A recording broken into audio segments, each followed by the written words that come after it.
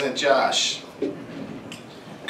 Our speaker is Dr. Steve Groff, who was a partner and orthopedic surgeon with OSS. After a near tragic accident, he retired. He went on to develop Windridge Farms with his wife Julie and son Taylor, and has become a serial entrepreneur. To emphasize that, this is his, going to be his third time speaking to Rotary. It's the third time he's speaking about a completely different company that he's forming. Steve and Julie, who joins us today, are the owners of Windridge Farms, which produces hard ciders and has expanded into craft beer and sodas, and of course there's the beautiful facility itself and the fine dining restaurant. In addition, the Groffs turned their former home into a wedding and event space, and we could have Steve talk on these aspects, but as mentioned, he's been busy creating other equally interesting businesses. There is Farmacy Partners, and that is pharmacy spelled with an F, as in farming, the land.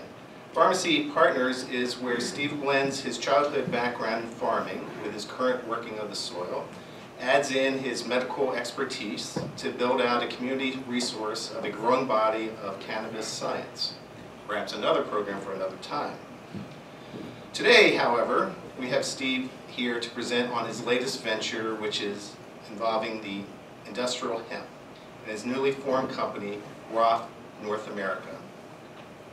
Industrial hemp is about to make a huge resurgence on the agricultural scene in the United States. Hemp is one of the most useful plants on earth, and for thousands of years, humans have used parts of the hemp plant for food, textiles, paper, fabric, and fuel oil, and soon medical aspects. This incredibly diverse plant has tremendous uses for our society and will help strengthen our country's farming roots by offering new economic incentives to stakeholders at all levels of the evolving industry.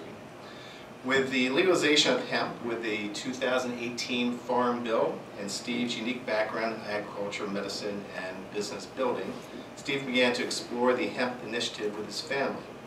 This has quickly developed into an opportunity to pioneer a new industry from a very old plant.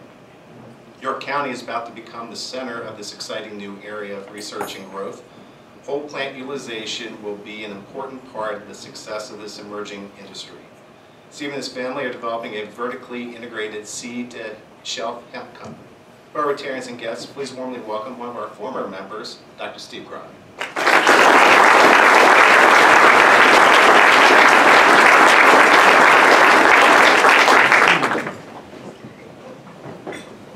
Mike. Good afternoon, everybody. It's an honor to be here. Uh, I have to admit, as I was sitting here this afternoon, I began to think uh, maybe I shouldn't be doing this. I'm about to stand in front of this group in York County and talk about cannabis. So, uh, uh but I decided to go ahead and do it. So we're going to have some fun here. I hope to uh, educate everyone here a little bit. Our family's learned a lot. There's a lot to, to learn about this fascinating industry. So again, I'm thrilled to be here.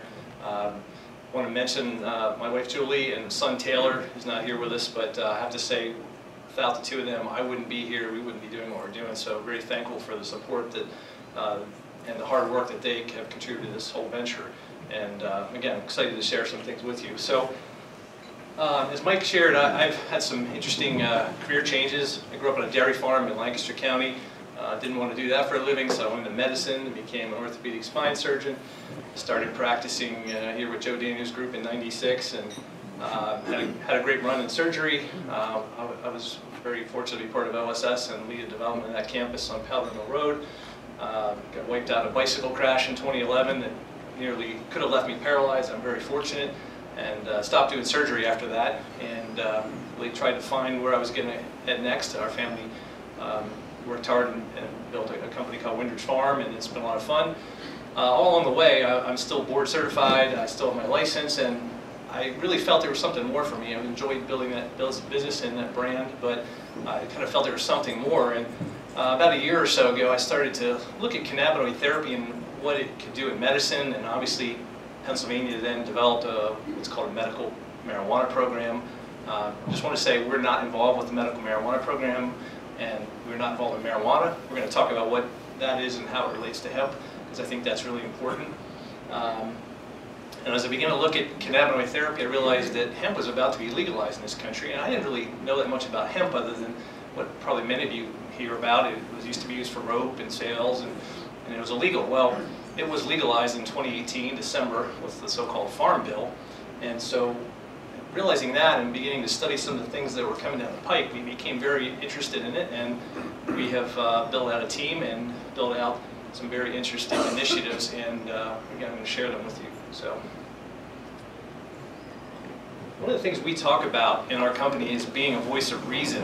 Um, as I said, there's so much, uh, there's a lot of misinformation out there. There's uh, a lot of stigma that's been associated with hemp and, and associating it with marijuana. And uh, part of our goal is to educate folks and talk about what it is, what it isn't, what we truly know, what we need to learn yet. Um, so that's an important part of our, our mission along with education. So um, hemp is an incredible plant. You're going to hear us say that over and over again. And when you start to realize some of these things that you may not have known, I think most people also agree this is an incredible thing and we need to figure out how to uh, benefit our societies from it. So it's been around for thousands of years, used for literally thousands of different things throughout uh, the millennia.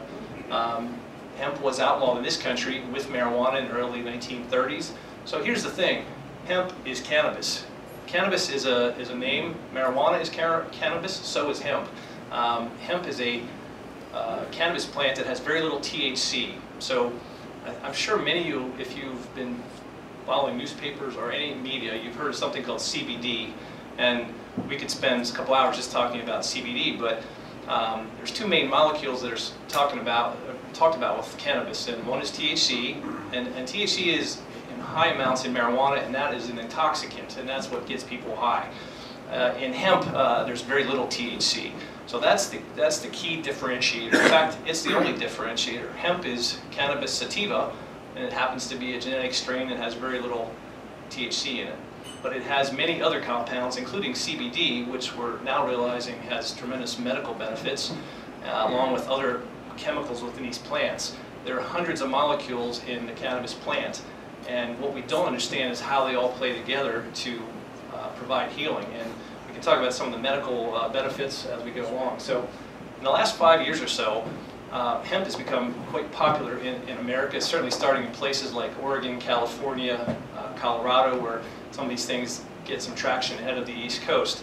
Um, in 2014, the government allowed hemp farming to occur in a small, small degree, and it, it actually developed quickly in those states. Is in 2018, the second farm bill, um, it legalized it throughout the whole country. So we're seeing a huge popularity now in, in hemp products, hemp farming, and again, that's something we're excited to be part of. So uh, this legalization just took place in December, so this industry is about to unfold, about to build out supply chains and things like that, using a decades-old, millennia-old plant, building a new industry around that old plant. So it's very exciting. Interestingly, Pennsylvania has uh, an incredible history in hemp. Um, people now think of Kentucky and uh, Colorado, but Pennsylvania, Hempfield, Lancaster County, right across the river, uh, I grew up in Lancaster, didn't realize this, but it was called Hempfield because it, in the, around the uh, First War, Second World War, it was the largest hemp grow in the United States. So um, there's some interesting uh, history. William Penn obviously founded Pennsylvania and intended to grow hemp here. George Washington, Thomas Jefferson grew hemp. So uh, it's been a plant that has grown well in the U.S. and then went this 80-year hiatus where it wasn't uh, cultivated. So we talk about in our company, our farm company, we talk about it starts with a farmer. And so, uh, again, I grew up a dairy farmer, fourth generation.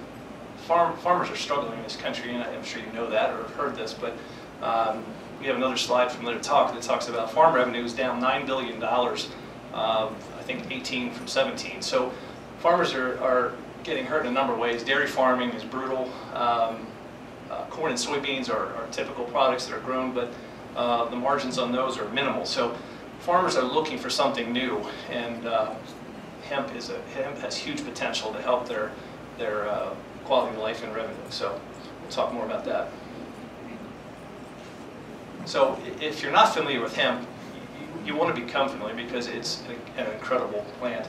It, it, does amazing things like it pulls CO2 out of the atmosphere, it sequesters CO2, It, it helps, it can regenerate soil, it can be grown in areas with toxic uh, issues and pull, it can pull the toxins out of the soil.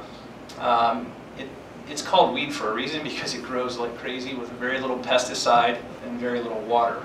Um, it can provide tremendous uh, plant-based nutrition. Hemp seeds are incredibly nutritious. They're filled with protein, omega-3 and omega-6 fatty acids. So hemp seeds are, are, are going to be uh, used in a lot of things here. Uh, right now, Canada is the largest grower of, of hemp for seed, and they've been growing hemp since 1998.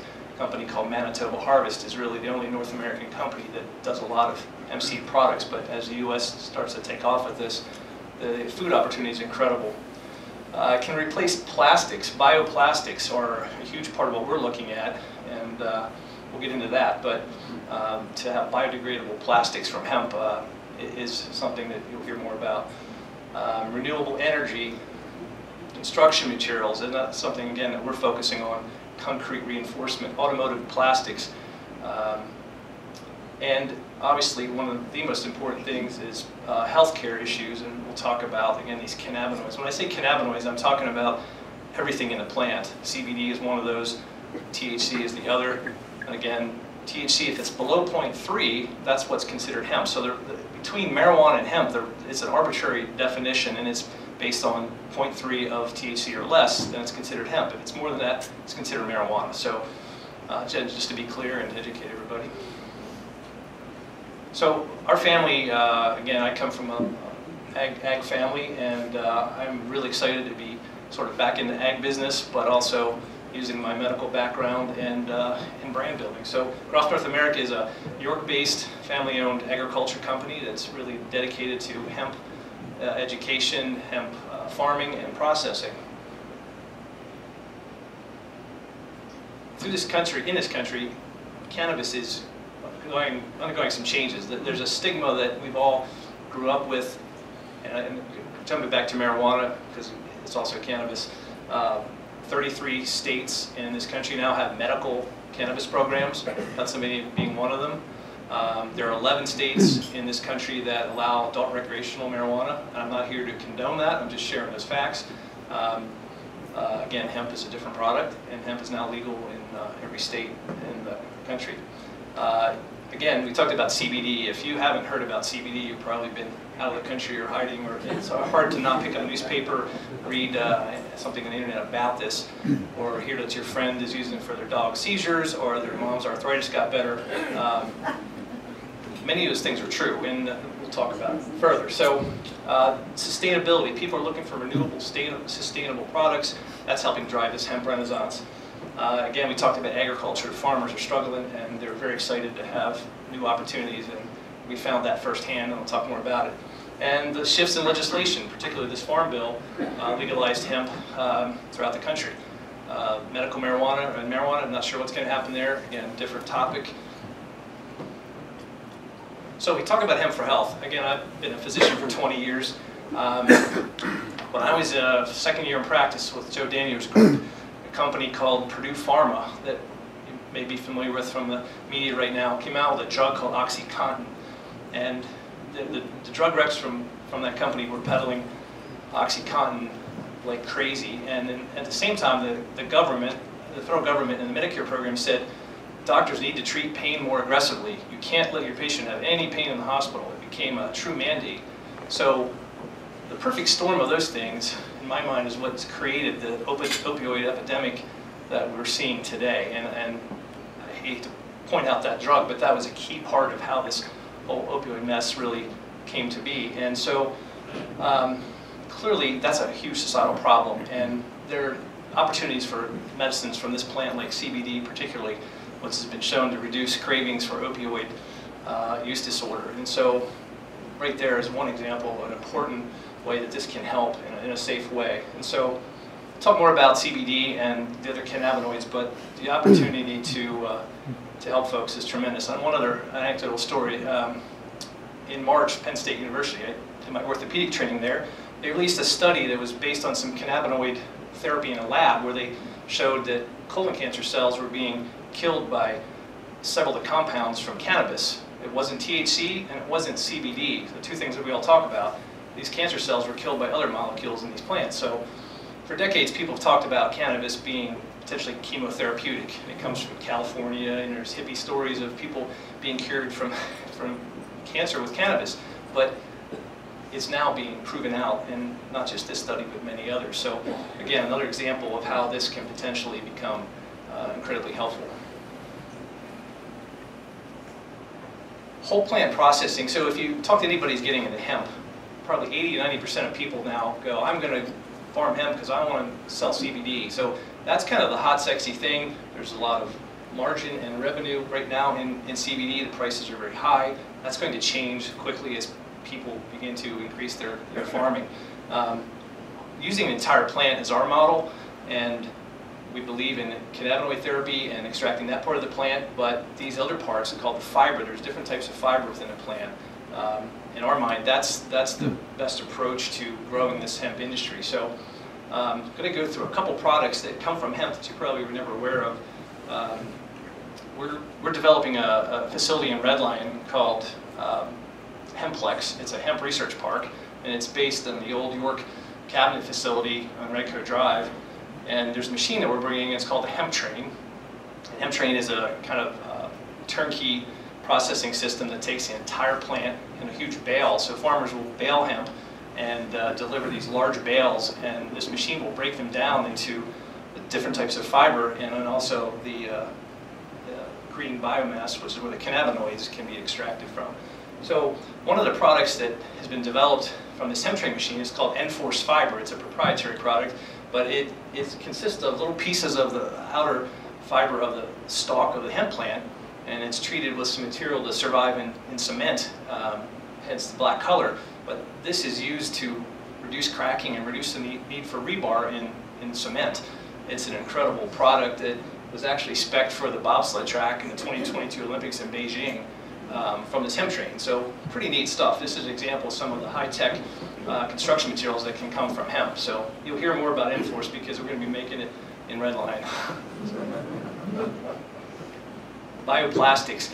In, in, Europe, Mercedes and BMW make car door liners out of hemp fiber composites. So hemp, hemp is usually used in, in car parts, um, among many other uh, potential uh, uses. The U.S. car makers would love to be able to use this product, but they need a steady supply chain. And so that's almost the holy grail of, of hemp uh, industrial opportunities is to develop those supply chains to provide um, bioplastics to the uh, automotive industry. So that's another area that we're going to be focusing on. It's not going to happen overnight, but uh, again, we're, we're going to take an aggressive uh, stance at that. Um, Hempcrete, this is an amazing product. It, those little, little pieces within those blocks are from the inner, inner part of the hemp plant called the hurd, H-U-R-D. And hempcrete is pretty incredible. It's antimicrobial. It's naturally water resistant. It has better sound absorption qualities. Um, it's not quite as strong as a concrete block for vertical, but uh, hempcrete, uh, you'll hear more about that if you haven't already. It's, an, again, incredible uh, building material used from, made from hemp. Animal feed and bedding. So uh, hemp, uh, hemp hurd can be chopped up like the stuff in those blocks and used as animal bedding. Again, it's antimicrobial. It reduces infections in places like chicken, um, chicken farms and things like that. Uh, horses, it has less dust. And uh, for some people have horses that have respiratory issues, so it can be a great bedding product. But get, getting back to the seed, it's also a great feed. And so we're very active at the State Department of Ag uh, level here in, Pennsylvania working to get uh, these, these seeds approved to be used for animal feed. There's a whole process that has to take place, but it's, it's underway now. So um, we'll be able to use this for a number of types of uh, animal feed. And even something like supercapacitors, um, hemp can be shaved off in very thin pieces and something called graphene. Any, if there's any engineers or tech folks, graphene is a thin layer of, of carbon fiber and hemp can be uh, hemp can be processed into, into hemp graphene. So we're talking about super high-tech things that can come from this plant. So, so back to the company we're forming here locally. Uh, it's an agribusiness, again, focused on hemp farming, processing, and education. Uh, we've looked at a, really a, a, vertically integrated model, and we've been able to develop that here uh, over the last year, and it's just beginning. And we say seed to shelf, uh, we're talking about local farmers that are growing. Um, So in March uh, at Windridge Farm, we hosted an event called the Hemp Farmer Supper. Hemp Farmer Supper, and we uh, had the place sold out with 260 farmers from the, from the area who wanted to understand more about hemp and talk about growing it. So it was a great event, and we ended up signing up 2,000 acres of contracted hemp farming from 20 farmers who were uh, experienced mechanized farming. So hemp can be farmed in two different ways. One is more like tobacco or lettuce in a labor-intensive way, and that's typically done for what's called high CBD plants. The other way to plant it is like a, with a corn planter and mechanized farming. And so what we did is contract these 2,000 acres with a mechanized farming approach, and uh, the product's six and seven feet high now. We've had an amazing year with weather, and uh, so we're really excited about this first crop that we'll be uh, harvesting fairly soon. It'll be baled and then brought to our facility in Red Lion and processed. Talking about this hemp train, so there's a company in Calgary, Alberta that has spent six years, it's a small engineering firm, and they've spent the last six years developing a, a new way to process hemp. Up until now, the only machine that really would break down hemp is something called a hammer mill, which is a real old, really old school technique. Almost, if you think of a rotary phone and the iPhone, well, this is the iPhone and the rotary phone was an old hammer mill. So we felt that this was truly novel technology. The picture on the bottom right is sort of the small beta version of it, but uh, the first industrialized hemp train is being built now and will be then moved to Red Lion in October. So we're very excited about it. It's the first one in North America. And uh, we believe that this hemp train technology is going to be something that really helps jumpstart this entire industry throughout North America. So um, it's going to be an important part of our whole program. Farmacy partners, as Mike had mentioned, um, as I said, I'm still a licensed physician, and I felt there was an opportunity for me and our team to really develop an education program and a way to do research in this area, contribute to the medical literature, and, and educate folks in our community. And so we opened this in the Northwest Savings Bank building on Acco and Queen, I think about March, and um, so it's a, it's a great experience to come in and talk to folks about what is CBD, how can it help me, what is hemp extract, what are these cannabinoids. It's not a marijuana dispensary. We do not sell marijuana there. Just want to say that. Um, there's a lot of confusion out there in the community. But uh, um, so we sell hemp products, hemp cannabinoid products that have um, a lot of these medicines and, and, chemicals in them that have been shown to do some amazing things. So um, I see patients there one day a week. Um, developing referrals now from the large health systems, Pittsburgh, WellSpan, uh, seeing cancer patients who are struggling with a number of things. Uh, again, we can talk, that's almost a whole other topic, but it, in our mind, it's an important part of sort of a seed-to-shelf uh, educational uh, opportunity and really stay in the front lines of, of clinical uh, patient treatment and uh, really tie them all together. So, so this is an ambitious project for our family. We've brought in some great team members. Uh, we're excited to use Windridge Farm as kind of a, a base for this. Tonight we have uh, 200, over 200 people coming for the, basically the same talk in a public education forum. And so uh, we're very excited about kind of sharing what we know, what we don't know. There's a lot we need to study, but clearly this can, these molecules can help on the medical side, and there's so many other potential uses for this plant. And we're honored to be part of helping pioneer this in the United States. Um, we just came to a uh, opportunity where we're actually going to be acquiring the company in Calgary that makes the hemp train. We signed a stock purchase agreement to uh, acquire that technology. And so we will be manufacturing hemp trains and, and selling them throughout North America. So we truly will have, York County will be uh, really a center of this renaissance in the United States. And we're thrilled to be part of it. And uh, we're very excited about what it can do for the ag community and uh, our entire country. So it's been an honor to present this. I'd love to take some questions. We have time. I'm not sure of the schedule, but uh, pleased to be here.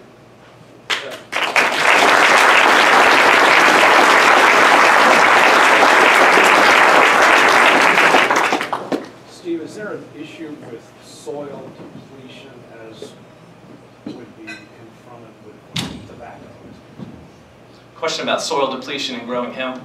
I'm, I'm definitely not the agronomist, and uh, there's there's certainly soils that uh, certain hemp uh, strains will grow better in. Um, we're still understanding that. Um, I would probably end up deferring that to uh, an agronomist, but uh, it, it, grows in so many different types of soils. There's certain things, it doesn't like a lot of water early on, but other than that, it's, it's a very adaptable plant. Um, great question. Go ahead, sir. Uh, The, what are the economics for a farmer? The yield per acre, in other words, bales, or pounds, I don't know how you're grading this. uh, In terms of raw production of product is sold to, the train, hemp train. Uh, If I were a farmer, how would I see this? I'll kind of talk that in generality. The question is about economics for the farmer, which is, again, we said it starts with the farmer. If the farmers are not excited to grow this, they're not going to do better with it, they're not going to want to grow it. So, again, in generality, we, we, uh, we did contract these 2,000 acres because we wanted to really jumpstart the industry, and we made a commitment to them. Um, hemp is two things. It can be the very, very expensive high CBD type product where people are here in thousands and thousands an acre. That's high risk, it's high labor, um, a lot of, and chance of even losing the crop. If, if for some reason the THC would go high, it would drift up. And so that's high risk, high reward. Um, this type of farming, we, we assured them they're gonna do far better than they would with corn and beans, but we didn't make any outlandish um, uh, projections. And the crop that we grew is called dual purpose. It's both for fiber and cannabinoids. So it doesn't have the crazy high CBD amounts, but it also has very little risk of, of the THC getting above 0.3. So uh, clearly farmers uh, can do better with these crops. Uh, The specifics are depending on what sort of risk they want to take and how they farm. Certain farmers don't want to do any labor, manual labor. So many Amish farmers now are, are switching from tobacco to CBD or high CBD hemp because they have the family labor, they have the, they have the model and inexpensive labor. So it's amazing how many Amish folks are switching. That's what happened in Kentucky. It- Kentucky's almost entirely switched from tobacco to hemp, so pretty fascinating. Go ahead. I was wondering a little bit about uh, OEE, which is operational equipment effectiveness. Uh, The, the, uh, it's it's a factor that's put on production lines, the ability to keep it producing, to keep the product coming. It seems like you have a seasonal product, grown seasonally. How do you keep that millions of dollars of production line and the people working on that line working 365 days a year? Uh, That's a great question. Um, Question about uh, manufacturing efficiency and and seasonal crops. So we're going to be baling this product.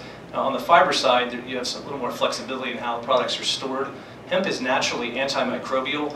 It's pretty incredible. It kills bugs, it kills E. coli, it kills uh, Staph aureus, superbugs. So it's pretty resistant. It can be stored in a bale outside.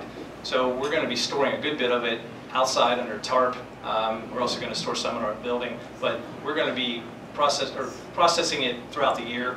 Um, But as you said, it is typically seasonal crop, although we've had some farmers go in a second, a second crop already, even in Pennsylvania in this climate. So down south, where you've got longer uh, warm stretches, uh, it can be two or three a season. Uh, But great question. So will you, will you expand your supply chain south to get that crop throughout the year?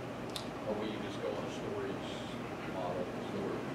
We're looking at 100 to 200 mile perimeter right now. I mean, you could certainly put hemp bales on a, on a rail car or a uh, flatbed ship, but the, beyond 150, 200 miles, we feel is not going to uh, be justified, particularly on the fiber side. So more likely, other processing centers will be developed.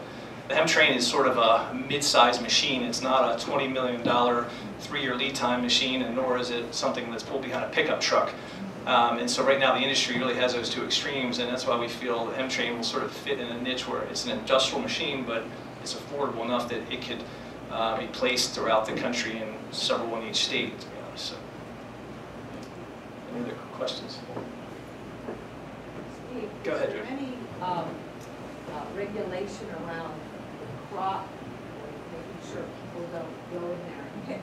Great, great question about regulation. So if you watched WGAL last week, one of our farmers put up some signs that said, this is hemp, it's not marijuana, you can't get high from it. It was all over the, um, it, it is true. So uh, unlike the marijuana permitting and licensing and dispensaries, which is crazy competitive and lots of money and lots of hassles, uh, hemp is hemp is an agricultural product. It's it's like wheat and corn. It's eligible for crop insurance as of next year, um, and it's grown out in the uh, in the open. It's not a greenhouse, and it's not um, it's not fenced off. Although it should be for the deer possibly, but uh, it, and, and you can't get high from it.